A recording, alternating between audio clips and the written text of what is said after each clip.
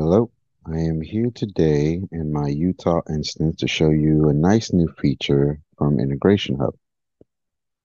So first, let me set the scene. I've created a REST message in the back end, and I have a REST message function set up with it.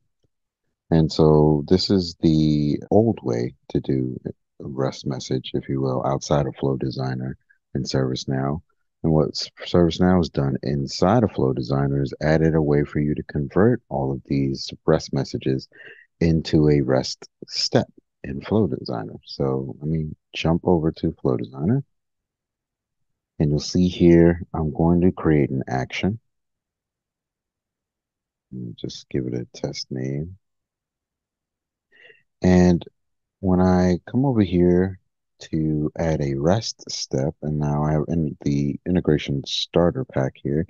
When I add the REST step, you'll see under build request, I have three options.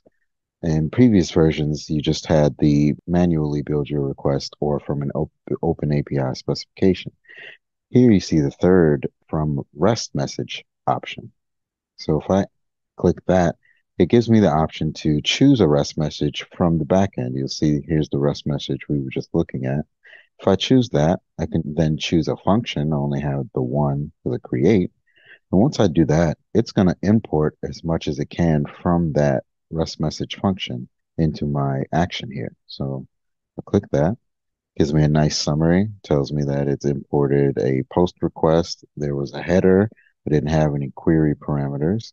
And it did find authentication, but it's telling me I need to create one for myself because it uses connection and credential aliases as opposed to just the authentication profile.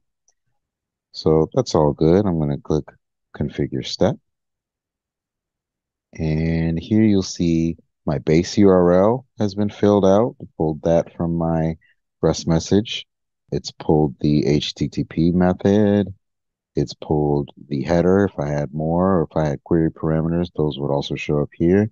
And it's also pulled the content that I had, just a simple JSON object here. So just a quick, simple little functionality that ServiceNow has added with the Utah release that is really cool. Really speeds things up when you want to transfer from the old way of doing things into a into a flow. Thanks for the time. Appreciate it you.